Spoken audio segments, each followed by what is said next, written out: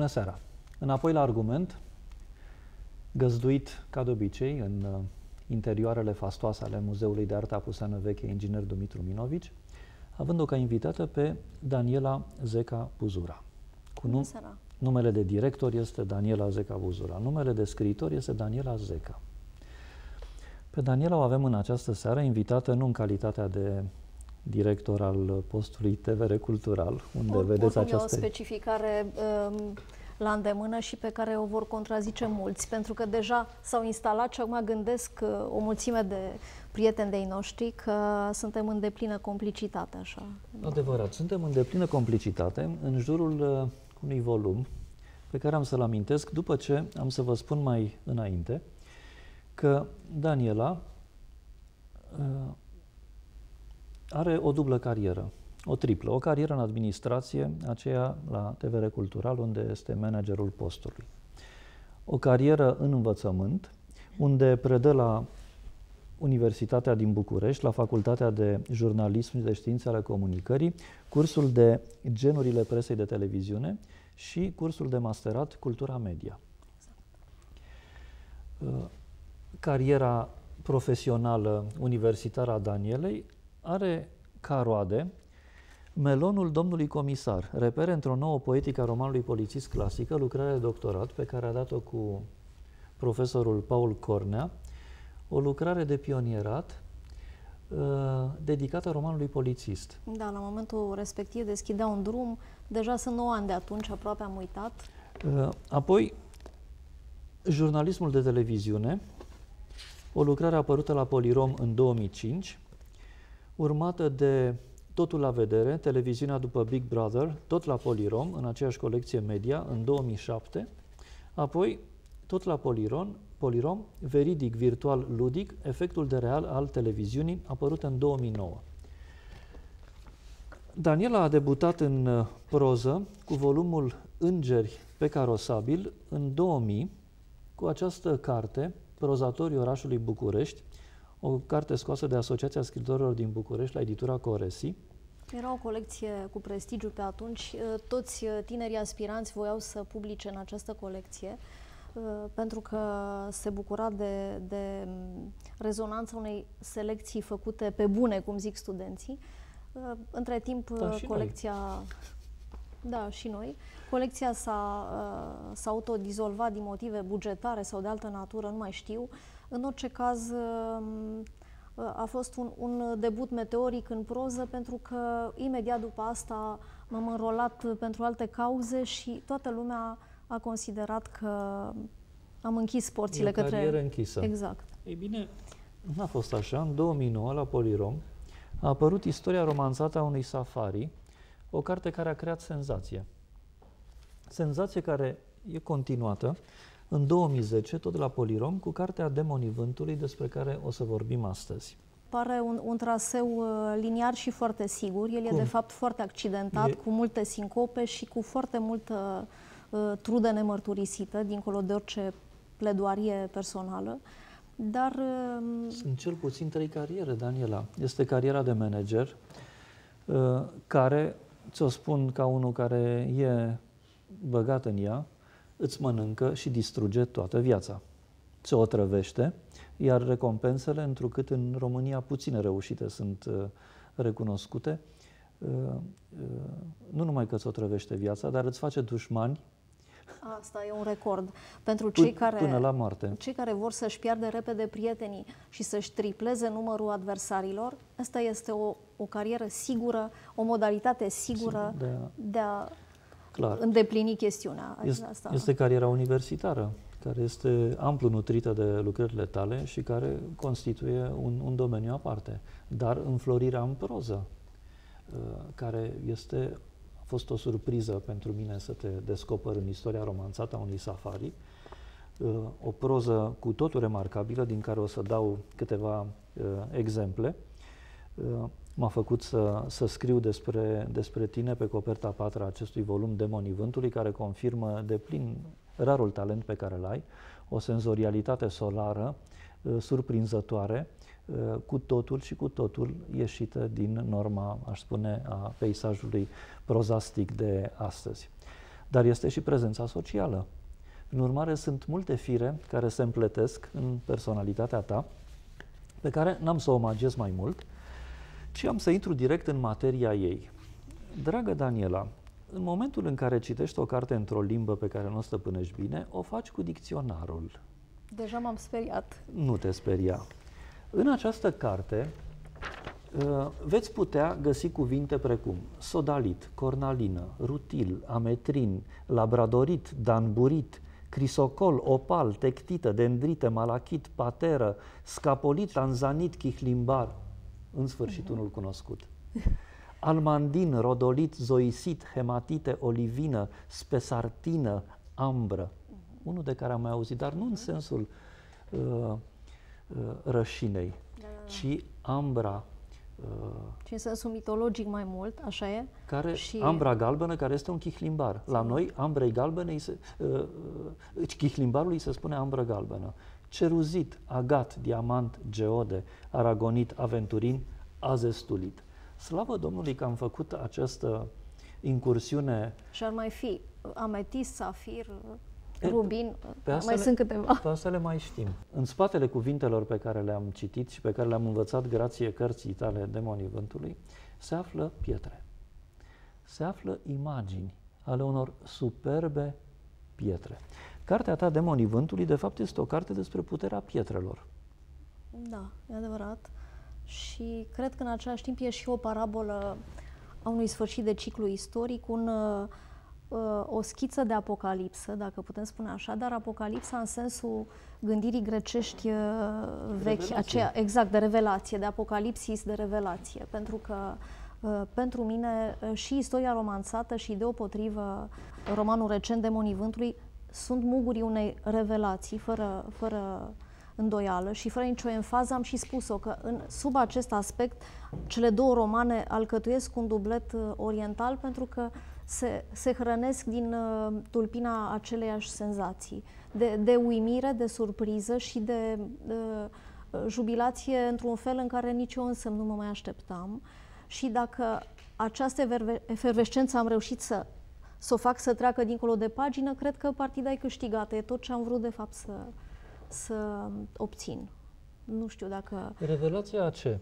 E aceeași revelație uh, când spui că pleacă de la o aceeași senzație. Este Orientul? Este revelația Orientului sau altceva? La început, uh, în urmă cu un an, când a apărut istoria romanțată, uh, toată lumea uh, critică a elogiat-o, dar în același timp a crezut în mod tacit că e un accident fericit. O carte senină, o carte de zahăr cu niște amanți, cu o iubire imposibilă, cu un partener magrebian și o, o europeancă misterioasă care uh, nu-l poate iubi până la capăt și pleacă înapoi acasă după 2 ani, însă cred că uh, lucrurile, uh, griful literar, ca să zic așa, pretențios, se clarifică începând de acum cu Demonii Vântului uh, și vrând, nevrând, uh, lumea trebuie să accepte că uh, își face loc uh, o viziune, un stil, un registru stilistic, habar n-am, o,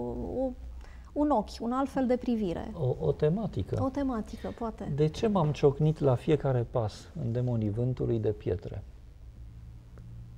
Pentru că așteptam de mult, am adus aici câteva cu mine, fără să exagerez. Acum, oricum, toată lumea după cartea asta crede că am acasă tezaure, absolut, ceea ce nu e deloc adevărat. Ele sunt în mintea mea în primul rând. Mm, și... Nu, eu cred altceva. Eu cred că piatra pietrele acestea au devenit pentru tine o grilă hermeneutică. Absolut.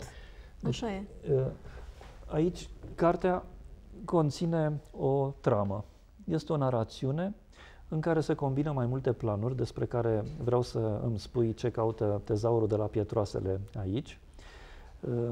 Păi era atât de la vârful degetelor, era aproape Ehm, nefiresc să nu mă refer la, la el câtă vreme locuim, nu, în siajul uh, celui mai mare tezaur al antichității târzii. Uh, el a fost cel mai mare din lume ca greutate și importanță și valoarea nestematelor până în 1923 când s-a dezvelit mormântul lui Tutankamon. Și în continuare e un tezaur care tace, un tezaur despre care nu se știe uh, uh, mare lucru și, și e atât de acoperit de mistere și legende, încât n-am putut să îl las să mai tacă. Asta e tot. A fost o întâmplare fericită și pentru mine. Dar cum? Suntem în Emirate, suntem uh, în Abu Dhabi. Așa e, în Abu Dhabi și în Dubai. Și în Dubai și asta trimite la descoperirea epocală din 1830 și... 1838 și 9 a fost celebrul proces al, al descoperitorilor. Al descoperirii da. cloștii cu pui de aur. Exact. Și este deci o narațiune în care apar personaje, este un personaj fabulos, Sayed, da. Uh, care este bijutierul, dar el este un alchimist, este Așa un... E. Un inițiat, am spus-o este, tot timpul. Este un inițiat în mhm. ceva ce, și aici este al doilea palier al cărții, inițiat în ceva care are legătură cu pietrele, are legătură cu ceea ce se află în spatele lor, ori reușește să trăiască și să intre în contact cu oamenii prin intermediul lor. Chiar așa deci... s-a întâmplat. Uh, la întrebarea netă dacă Saed există, uh, am mers până la a dezvălui identitatea lui reală civilă, tocmai pentru că uh, am, am respirat câteva secvențe în, în alături de această identitate care se comportă așa, ca în roman. Există Sigur, Sayed? Da, există Sayed. El a fost și la librărie în momentul lansării. Toată este lumea a crezut domnul... că e ultima, ultima găselniță din ficțiune, ultima forțare a, a limitei textuale. Dar... Și a acceptat imaginea din carte? Încă citește la ea, pentru că nu citește atât de ușor în limba română. Dar după efuziunile, în special feminine, provocate de roman, cred că e oarecum încântat. Habar n-am, nu mi-a mărturisit. Îl, uh, îl cheamă Masud Galandari, este un mare orfevrier uh, persan. Cartea este dedicată da, mamei da. mele, Paula, și domnului Galandari, exact. alchimistul. Da, da, da. Iar primul rând din carte spune așa, îl chema Sayed și toți îl priveau ca pe un oriental. De fapt, eu din ignoranță am făcut din numele lui, care e mai mai lung decât Masud Galandari, nici, nici acum nu-l știu în întregime, și are o particulă Seyed, uh, care în persană e un fel de fon, e o particulă a clanului, uh, în traducere ar fi uh, nepotul profetului. În, în Iran încă se ține cont mult despre această particulă pe care eu am adaptat-o, am sonorizat-o după cum mi-a plăcut mie, cu multă inconștiență, fără... Am descusut-o și am făcut-o un nume. Pot să spun ceva despre limba arabă scos din tine? Da. La paginile 152-153 despre limba arabă avem această caracterizare care descrie foarte bine stilul tău. Uh, vorbește acolo de misterele limbii celei mai aspre și mai poetice dintre toate cu sonorități aromate, profunde și nostalgice câteodată. Sayed acesta învață limba arabă târziu da. și sunt reflexiile lui uh, prin pana ta. Uh, iar la pagina 164 avem o caracterizare care sună așa. E limba filoanelor din pământ și a comorilor care se trezesc peste, peste noapte. noapte. Exact. De fapt, și, și Saed civilul, Galandari civilul, uh, vorbește rău araba, el vorbește persană de fapt, înțelege arabă, dar o vorbește defectuos, mi-a spus.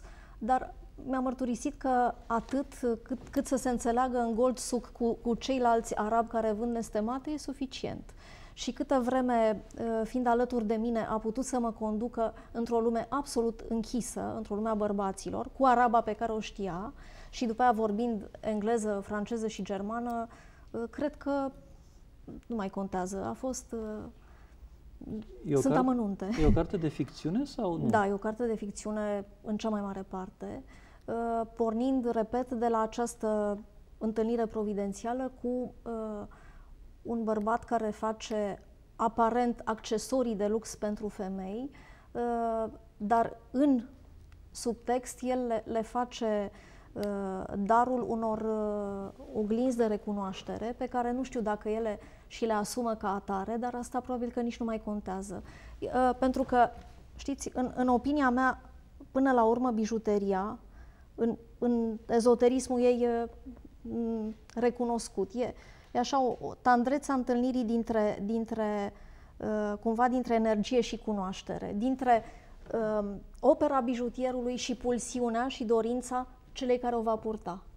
Și în această îmbrățișare de afecte, bijuteria capătă cu totul altă semnificație, altă semantică, e clar.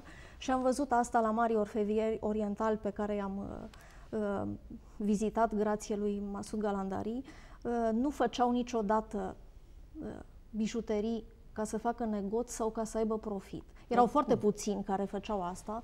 Nu vorbim de precupeții comuni din, uh, uh, care vindeau aur și nestemate la kilogram, pe aceea îi scoatem din, din calcul, ci pe cei care aveau uh, uh, ateliere în Dubai sau pe graniță în Shiraz, dincoace pe granița cu Emiratele Arabe și care reprezentau o castă, în primul rând o castă religioasă, uh, care atunci când se apropia de un uh, diamant uh, uh posta, uh, postea, își, își calma umorile, revoltele, mâniile, ura dacă exista, Uh, iubirile dacă existau, tristețile dacă existau și asta deja e alt cifru, altă uh, dimensiune, alt mod de înțelegere. Ai spus diamant. Da.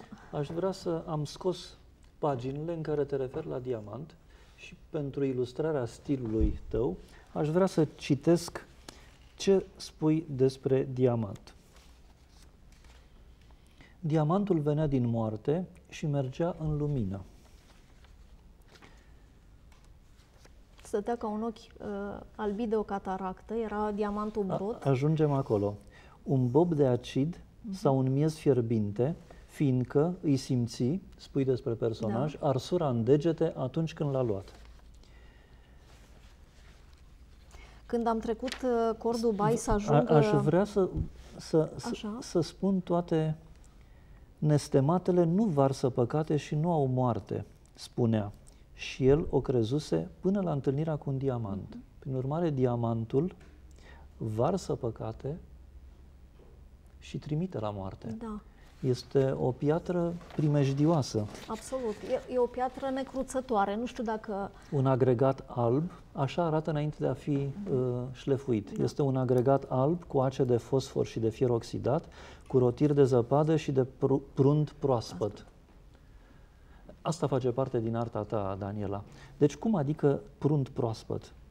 E un suflet de vânt, spui tu. Aici vântul, uh, dincolo de orice conotație culturală, că sunt atâtea simboluri pentru vânt, uh, cred că ne-ar mai trebui două ediții ale emisiunii ca să le puizăm, însă dincolo de asta, în mod special în roman, vântul e o formă de captivitate și o formă de Uh, prizonierat, pentru că până la sfârșitul cărții, practic, nu există personaje pozitive. Există mai personaje posedate. Saed însuși este un inițiat care uh, încearcă să se salveze de sub uh, posesia aurului, în primul rând, și de sub uh, uh damnarea asta a, a permanentă a diamantului. Uh, asta încercam să, declarația următoare încercam să o strecor uh, atunci când auzeam citatul, și anume că în clipa în care am trecut cu o barcă cu imigranții indieni șlefuitori de prețioase, uh, Cordubai, ca să ajung la ateliere, uh, acolo am văzut uh, primul orfevrier oriental înconjurat de praf de diamant. E o imagine pe care nu știu dacă, poate numai filmul ar putea să o surprindă total ficțiunea uh, mea cel puțin a făcut-o doar în parte, e ceva neomenesc, deloc eterat, e, e expresia unei naturi omenești improprii, pe care am scris-o undeva într-o pagină, poate cea mai frumoasă pe care am reușit să o scriu până acum, aceea a bijutierilor care rămân ca spânzurații suspendați între două lumi. În arabă spus, ei nu sunt nici heram, nici halal, adică nici de bun augur, nici norocoș, nici... Uh, Halal înseamnă de bun augur. Da, de bun augur. Heram înseamnă uh, aducător de ghinion. De ghinion. Ei bine, ei, uh, ei fac o profesie inițiații, că despre ei vorbim, uh, fac o profesie infernală și de aceea uh, adevărații orfevrieri orientali nu poartă niciun fel de podoabă.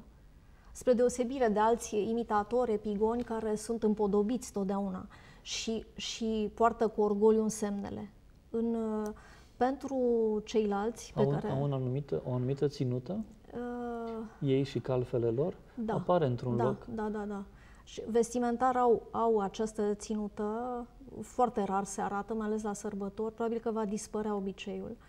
Uh, de altfel, eu, eu am crezut până în ultima clipă că Saed va veni în acel costum al Breslei, dar cred că în ultima clipă s-a speriat și a retractat promisiunea. Cum arată ținuta lor? E o ținută așa de, ca un brocart cu sud de mână, pentru calfe cu argint, pentru, pentru maestri. maestri cu aur. E de, de o opulență orientală la limita bunului gust, deci nu, nu foarte ușor acolo orice, orice model alunecă în, în chici sau în, în opulență în exces, în exces. Asta nu se întâmplă în breasla lor și din păcate, globalizarea o să șteargă aceste uh, limite și aceste însemne. Ele sunt din ce în ce mai puține. Și tocmai pentru că ei vor să rămână contemporani și în spiritul timpului, ascund aceste mărci de, uh, de personalitate și ale inconștientului lor până la urmă. Da, rămânând însă ca niște inițiați stranii care reacționează la puterea pietrelor. Absolut. Uh, într-un mod pe care ai reușit să-l redai, iar mie mi-a, mi-a, mi-a, mi-a reținut atenția cu o mare, mare, mare forță și cu un mare mister. Continu să spun ce e cu diamantele. Diamantul e lucrul cel mai vechi de pe lume. E memoria nevăzutului. nevăzutului. Da. Asta orientalii m-au învățat.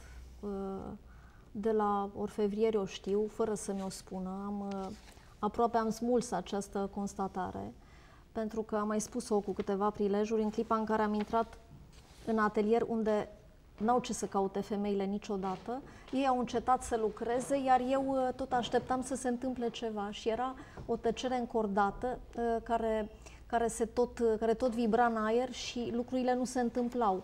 Până când a venit verdictul și a spus, astea sunt lucruri pe care femeile nu le văd și am înțeles că era un tabu și de multe ori m-am lovit de astfel de limite, pe unele le-am depășit, pe altele în fața altora m-am înclinat pentru că n-am reușit să trec.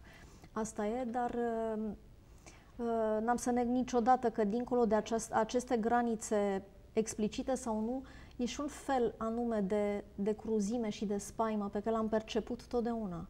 Așa sunt aceste personaje. Absolut. Ele a sunt fost, asediate de o spaimă. Absolut. Încântarea mea perpetuă a fost uh, însoțită permanent de, de o spaimă mărturisită și, și în clipa în care am ajuns la acea licitație pe care am descris-o și care a fost un fapt real, sublimat după aia în ficțiune, am avut pur și simplu un, un frison cel mai uh, uh, straniu și acut din, din existența mea de până acum, pentru că am avut senzația că nu o să mă mai pot întoarce, că o să rămân acolo captivă, că e practic e un, un mormânt egiptean în jurul meu și că nu o să mai pot să ies niciodată din acele împrejurimi care erau sclipitoare, că erau, erau uh, uh, nu, nu împărătești, erau ireale, erau pur și simplu uh, toate gemele, uh, tot miezul uh, strălucitor al, al lumii era acolo. Și asta mi s-a părut, uh, dincolo de, de îngăduința suportabilității umane în general, ai spus, oricât... Ai spus miezul strălucitor al lumii? Da, da. Pentru că așa. toate aceste pietre vin din pământ. Da, așa e. Așa e. Ele sunt o creație a miezului lumii. Și da. să le scoți la iveală, să le... Și mai e un lucru, ele vorbesc totdeauna diferit. Uh, vin din pământ, nu rămân se întorc în pământ, că de fapt asta e ciclicitatea și asta i-a supărat de fapt pentru că uh, foarte mulți saudiți sau uh, mai mulți arabi din, din jurul meu uh, voiau cu siguranță să laud acest record al unui oraș de aur ridicat pe nisipuri mișcătoare. El este, din punct de vedere arhitectural și tehnologic, un record absolut. Dar credința mea era Uh, mărturisită sau nu, dar cred că, că o, o spuneam prin toți porii și prin orice atitudine, uh, era că ea se va reîntoarce în vânt, că va fi, că mai devreme sau mai târziu uh, se, în, în mod ciclic se va duce de acolo de unde a pornit, de fapt, adică din deșert. Și cu asta am spus totul. Și atunci și nestematele, de fapt, Masud Galandari m-a învățat această lecție pe care o știam sau nu știam, poate am recunoscut-o doar, și anume că nestematele nu ne aparțin în niciun fel și că e o întâmplare, un episod fericit că le însoțim, că ne vorbesc dacă înțelegem și cam atât. Cum, cum vorbesc? Uite, pietrele pe care le avem aici. Sunt doar câteva. M-ai învățat că o piatră, ca să îți aparțină, da. trebuie să intre într-o anumită relație astrologică Absolut. cu tine. Așa e. Adică să stea învelită în alte cristale uh-huh un timp care este echivalent Așa cu ziua, cu numărul uh-huh. zilei Orientalii tale m-au învățat asta. Uh, e o lecție pe care am regăsit-o și pe vremea istoriei romanțate în Maghreb, dar uh, în uh, Orientul Asiei ea mi-a fost și mai clară. Aici numai două, despre două am să vorbesc pentru că sunt mai apropiate de mine. Asta e lacrima, e, e un, un citrin perfect șlefuit de mână, de Sayed, un citrin netratat termic. De obicei, bijutierii comuni fac această culoare intensă uh, supunând-o căldurii ca să o intensifice. Dar un bijutier, uh, chiar unul ne, nu foarte evoluat, recunoaște uh, intervenția. Cum se recunoaște? Uh, Prin nu claritatea știu, în, Da, și în fibra pietrei. pietrei cumva. Nu știu, asta face parte din profesia lor. Uh, dar asta este, e chiar un strop de soare așa cum a fost în piatră, netratat. Deci asta e lacrima și asta e un, un cuarț fumuriu foarte puternic. Uh, e, uh, eu l-am botezat nastrele lui Metatron pentru că uh, ăsta este îngerul scrib care citește, cu care stă cu cartea deschisă și, și citește permanent și eu am crezut că nasturii lui sunt foarte austeri așa, strălucesc, asta e o formă de tăietură în briliant. E un, e un cuarț de asemenea netratat termic, foarte frumos fațetat, tot, tot de galandarii dar are în el o lume întreagă. Și e chiar ca un nasture de scrib, nu? Da. Deci ce este? Ca piatră? Un cuarț fumuriu. Un cuarț fumuriu. Vreau să spun că felul în care îți construiești imaginile folosind uh, pietrele e riscant. Pentru că dacă nu știi, cromatic vorbind, uh, ființa acelei pietre, pierzi savoarea imaginii. Și cu toate astea, din, din mulți cititori pe care i-am avut deja, fără niciun fel de, de pledoarie pro-domo, vă spun că nimeni nu, nimeni nu s-a plâns că ar avea nevoie de, de completări. Cred că s-au descurcat, nu știu, nu știu cum și în ce fel. Pentru, pentru că folosești un limbaj al senzațiilor care se adresează imediat prin faptul că limba română este o limbă de nestemate. Iar pentru un vorbitor de limbă română este ca și când ar fi incorporat deja natura mm. acestor nestemate. Dar pentru nivelul de conținut, dincolo de acela pe care l-am evocat, când spui un nisip ca șofranul pisat, se isca în aer, făcând ziua să pară tulbure. E și un condiment foarte prețuit, care da. are prețul aurului și e un condiment uh, din soare, e un condiment uh, portocaliu intens, uh, care pe care l-am văzut de fiecare dată în amiezele Dubaiului, pentru că acolo totul fiind reconstruit, reconvertit, uh, lucrurile se mișcă, se, nu stau în, în tagma lor, se, sunt răscolite, se revoltă și uh, acești demoni ai vântului, uneori la, la începutul mm, iernii europene, acolo se simt. Sunt, uh, sunt vibrații în aer care uh, răscolesc în așa fel uh, miezul zilei, încât ei trebuie să acopere terasele, uh, spațiile deschise, ca să nu se umple de furtunile de nisip. Și lumina însă se, se blurează, devine un fel de ceață de amiază, care e extrem de interesantă, înfricoșătoare pentru ei, sigur că e neliniștitoare, dar pentru mine, vizitatoarea, asta a fost o, o stârnire extraordinară a senzorialului și a, și a metaforicului deopotrivă. Pentru că atunci am știut că uh, titlul cărții va fi Demonii Vântului și după aia m-am dus foarte ușor pe toate registrele uh, simbolice ale, ale vântului și ale uh, demoniacului în general, uh, de, și orientale și ale Europei Occidentale și lucrurile s-au deschis pentru că mi-am adus aminte de vechile pasiuni, adică de Coran, de, de Apocalipsa lui Enoch, de, de uh, Cântarea Cântărilor, de O mie și una de nopți, de Khalil Gibran, de tot ce, tot ce mai aveam uh, ca rezonanțe. Practic, întâlnirea mea și cu Africa de Nord și cu mm, Orientul uh, din partea asiatică a fost o, o reîntâlnire uh, uh, legitimată, pentru că probabil că era, ea locuia așa subversiv undeva în, în mine și mi-aduc aminte exact că în, în, în prima copilărie aveam o bijuterie a bunicii mele care era o camee veritabilă, mărișoară, um, făcută, pe opal, făcută de mână în Germania, un opal prețios uh, pe agată. Era o camee clasică cu un chip de femeie. Și eu, când aveam 5 ani... Când spui opal și agată, ce culori ai în cap? Uh, brun, uh, brun scorțișoară și, și fildeș sclipitor. Cam asta ar fi. Și, și atunci această bijuterie uh, uh, absolut valoroasă în, în, uh, în felul ei uh, era botezată de mine Elefanta și era cea mai importantă jucărie. Nu m-am jucat niciodată la bunicii mei decât cu această camee oriunde, în nisip, în țărână, în, în iarbă. Bunica o recupera de fiecare dată și o păstra. Niciodată nu o luam acasă cu mine, deși o iubeam enorm.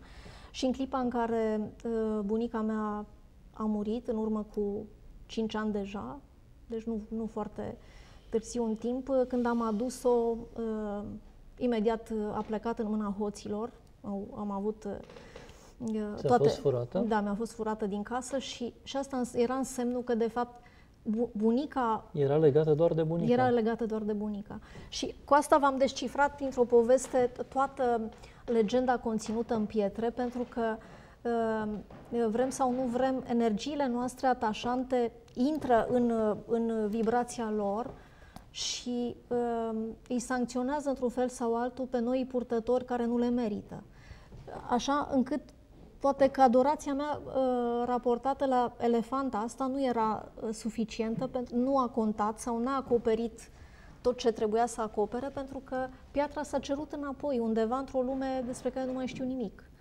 Și așa se întâmplă de fiecare dată și atenție că era numai o, o agată și un opal. Erau doar două, două pietre uh, care pentru bijutieri uh, sunt de rangul al doilea. Dacă ar fi fost un diamant, uh, sancțiunile lui sunt și mai severe, totdeauna. Adică și hoții știu asta, după cum și bijutierii știu asta. Bijutierii orientali, cel puțin, uh, m-au, m-au, uh, mi-au sugerat două lucruri. Că există uh, nestemate feminine în fibra lor și în vibrația lor și există acest vârf, acest talisman universal care nu numai în, în, în iconografia orientală și la europeni e un talisman, un suveran, și că el uh, practic nu are, da, nu are nici uh, nu are nici tandrețe, nici uh, resentimente, pur și simplu incizează, e, e ca o margine de gheață așa care face totdeauna își face loc și face clarifică. Există un pasaj în care vorbești despre efectul pietrelor asupra organelor interne. Este un pasaj enigmatic pe care te-aș ruga să ni-l tălmăcești. Dacă este, pot. Este, nu, nu știu care exact. Este vorba de un personaj feminin care este medic da. și care Liona. își expună unui uh-huh. aparat da. sânii. Da. Sânii ei aveau pielea intactă, areole trandafirii și o lene misterioasă după ce eliberase de sub corset. Își scoase inelul cu diamant, brățara cu pietre în negru și alb, iar la urmă cerceii de câte două carate și le strânse în pumn. Și acum urmează pasajul. Își apropie mâna cu bijuteriile de sânul stâng și fibrozele, care se vedeau la aparat, se topiră într-o împunsătură de ac. Mută nestematele în mâna cealaltă și efectul se repetă. Ar, ar semna pe scurt să ne lansăm într-o, într-o întreagă lecție de, de medicină cuantică, care e foarte aproape de noi și uh, occidentalii uh, o exersează deja. Uh, folosesc metoda nanodiamantelor pentru tumori. Pur și simplu sunt, sunt, uh, sunt diamante microscopice care, uh, grație unui microchip, sunt introduse în, într-un organism și ele găsesc calea uh, tumorilor ca să le vindece. Și ceea ce am, am ficționalizat acolo e pornind de la aceste performanțe medicale care vor fi uh, curente uh, în mâine, poi mâine. Uh, în, în Emiratele Arabe se vorbea foarte mult despre aceste terapii alternative și se făceau cercetări. În, în Abu Dhabi, de cam de 15 ani, se ocupau cu asta. Și sunt încredințată că uh, noile virtuți ale nestematelor vor fi astea, dincolo de, de luxura uh, implicită a, a oricărei podoabe, nu știu. Dar tu aici ai construit o metaforă da. Pentru un tip de relație între interiorul corpului nostru exact. și o piatră. Da. Ceea ce, dacă urmăm pista acestei uh-huh.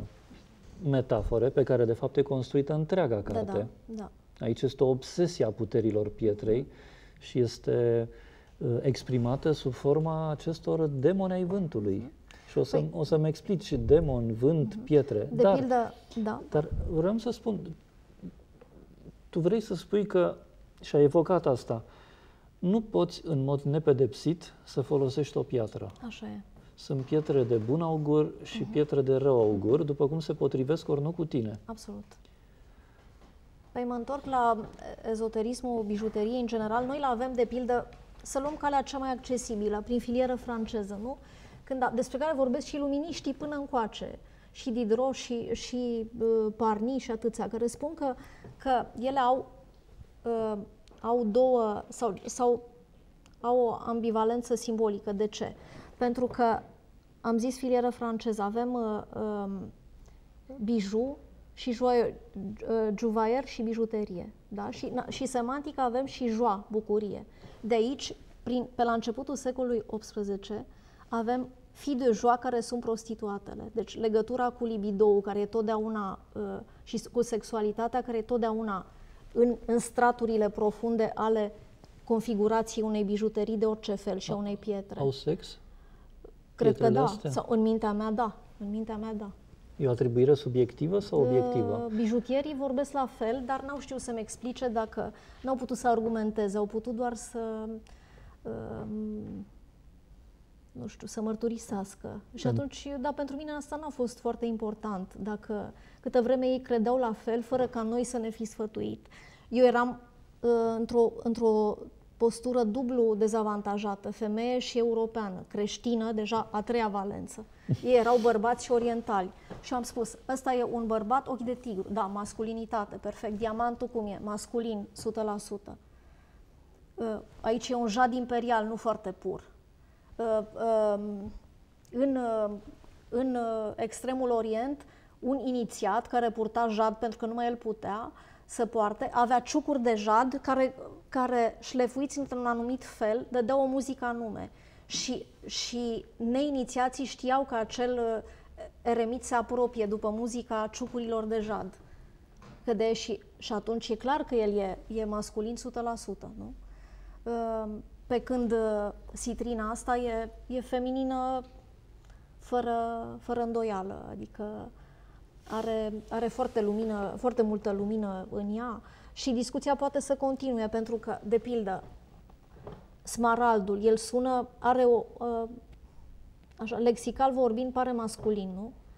Dar uh, el e o piatră umedă a infernului. În, în, um, în alchimia europeană occidentală, apropo de demoni. Cine o ținea sub limbă putea să vorbească cu, cu demonii. Dar să nu uităm că două, trei secole mai târziu, același smarald era bucata magică, vindecătoare, din care era ascultat gralul. Deci lucrurile sunt oricum în, într-o rotire continuă, mai mult decât atât. Această piatră uh, verde foarte controversată stătea în, în saliva balaurului și a dragonului, în saliva și în colții, deci avea uh, în ea și, și prețiosul și înspăimântătorul. Totdeauna sunt, apropo de ce spuneam mai devreme, a, aceste contraste locuiesc tot timpul în, um, în orice nestemată și cred că posesorul pietrei respective activează sau nu partea de umbră sau partea de lumină. Asta depinde. E clar că e așa. Uh, mai mult decât atât, ca să mă întorc la, la ce spuneam despre bijuterii, am găsit asta și în Jung, care, care uh, spune clar că orice bijuterie e o întâlnire dintre imaginea sufletului și inconștient. Deja e mai mult decât puteam să cred. În ce, uh, în ce fel? Pentru că ea, alchimic are o parte de lumină care sunt gemele, pietrele, nu Asta e, asta e o tăietură marchiză a unui uh, topaz nu, nu foarte nobil. El e aproape cenușiu, dar tăietura e foarte frumoasă. Uh, deci e o parte de lumină și o parte, alchimic vorbind, de, de materie matură, maturizată, care e aurul sau platina. Mai mult decât atât, apropo de, ca să mergem și mai departe în simboluri, că am putea vorbi oricât. Există în, uh, tot în medievalitatea europeană, am văzut eu un semn și, și am fost absolut încântată, e o statuie ecvestră, ca să mergem în, în, în, uh, în uh, simbolica creștină. E o, o statuetă ecvestră a, lui, a Sfântului Gheorghe, care omoară balaurului. Balaurul nu e foarte mare, se află la München într-un muzeu, e cam așa, de mărimea asta. Și, și Sfântul Gheorghe e cu o, platină, cu o platoșă pardon, superbă de, de safire încastrate în aur, iar balaurul e tot din smarald. Și e, e practic uh, uh, încordarea și disputa dintre, dintre albastru ce, celest și, și uh, albastru episcopilor și al pietrei caste, și vrăjitorescu ăsta verde, care e și, și speranța, dar și o trava uh, șerpească și, și toate uh, vrăjitorile infernului, care nu iartă. E o întreagă, o întreagă simbolistică care poate să ne ducă da, care într-o mie și una de direcții. nesfârșită, ramificată Absolut. și în fond culturală. Prin asta vreau Sigur. să spun că uh,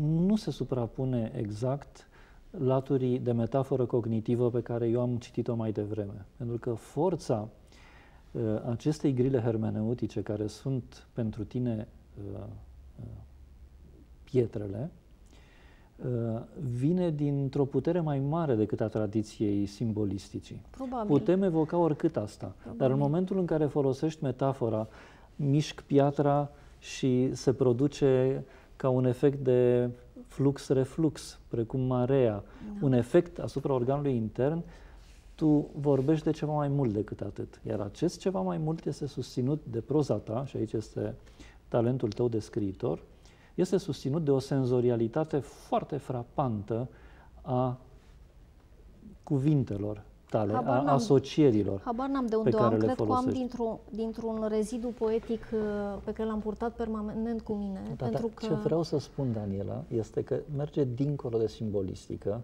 și că pretenția ta, chiar dacă te ascunzi acum, este dincolo de această simbolistică. Este o putere a pietrelor care seamănă cu puterea cheilor uh, din uh, evul mediu latin e, e un fel de credință, poate că întunecată, poate că e o combinație de solar și întunecat.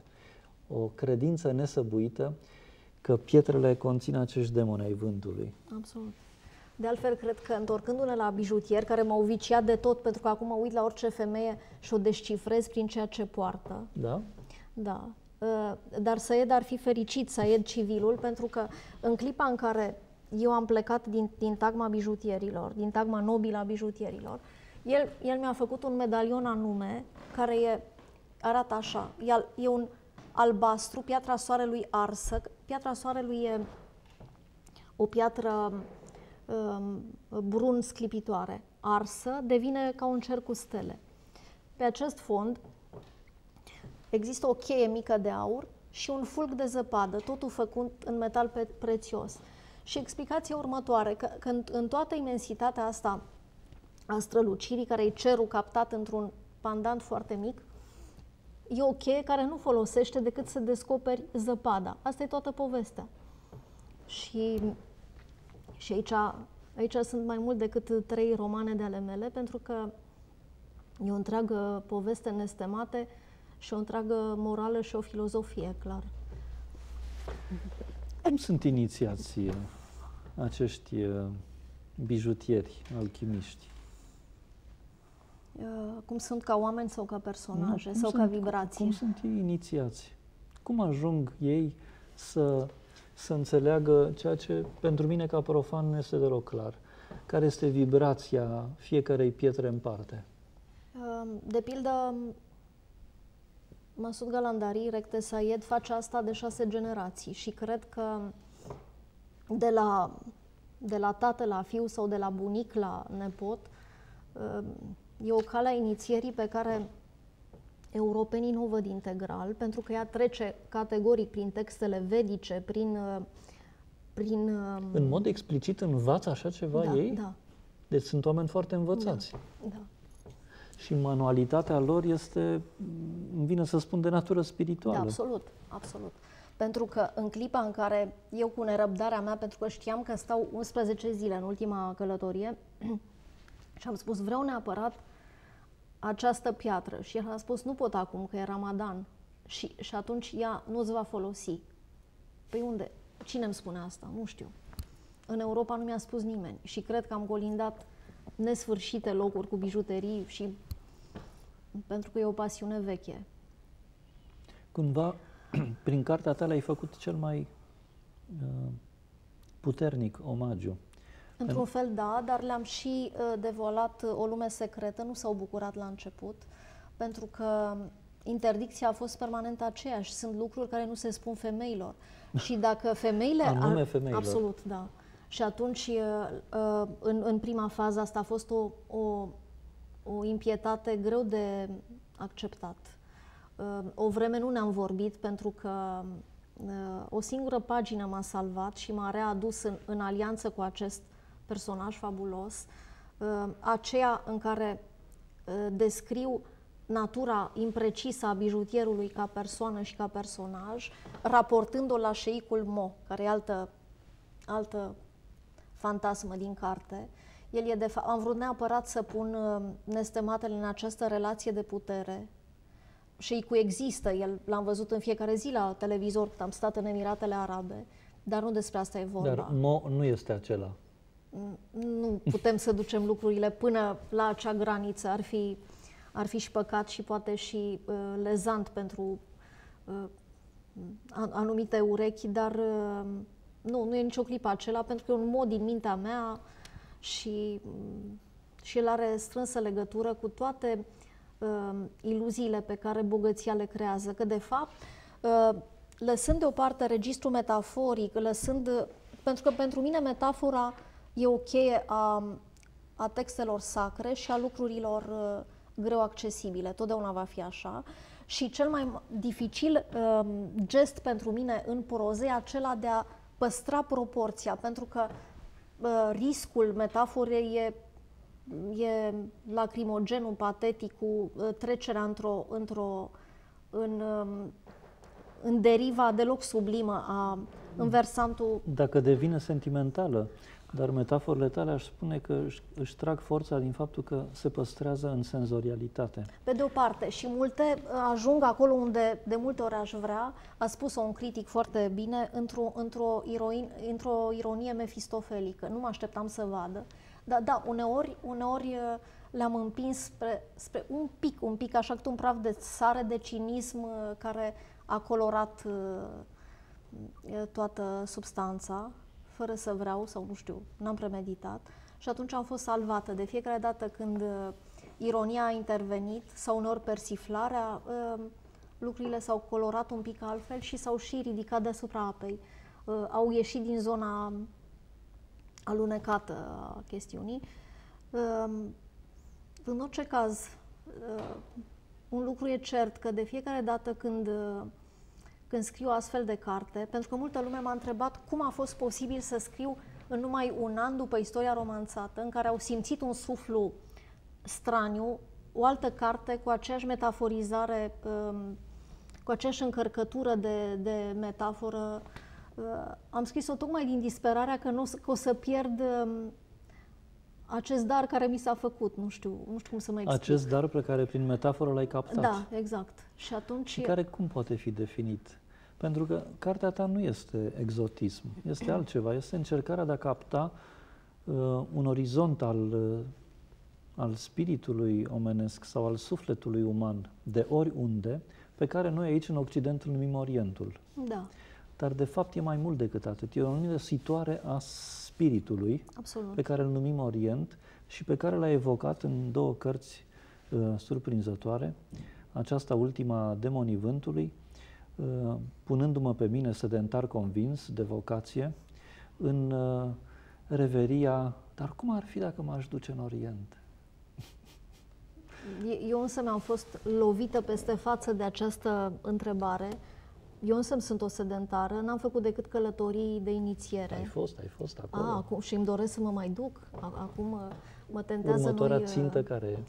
Păi, uh, nu știu, mă tem că am să înfricoșez pe toată lumea dacă spun, dar mă tentează să mă duc în, în Damasc și în Iran. Am acolo niște subiecte nerezolvate, dar nu știu dacă... Nu am, nu am călăuze suficiente pentru călăuze cinstite, pentru că sunt tot felul de călăuze în orice. Până acum, și în, în partea magrebiană, în nordul Africii, și în, în uh, Emiratele Arabe, uh, am avut această șansă uluitoare a unor călăuze oneste. Dar uh, acum n-am certitudinea că acest noroc se repetă și atunci uh, o carte nu rezistă dacă ajung în vrajba unei uh, unui sfătuitor care uh, nu stârni demonii vântului. Absolut. Daniela, din păcate, timpul nostru a trecut. Nici nu-i bine să vorbim atât de lung timp despre demoni. Despre demoni tăcem. Vorbim, în schimb, despre această carte pe care vă recomand să o citiți cu dicționarul în mână și cu internetul alături, ca să puteți vedea frumusețea uh, cromatică a pietrelor pe care Daniela le-a descoperit și ni le-a revelat și nouă. Îți mulțumesc foarte mult, Daniela. Și eu mulțumesc.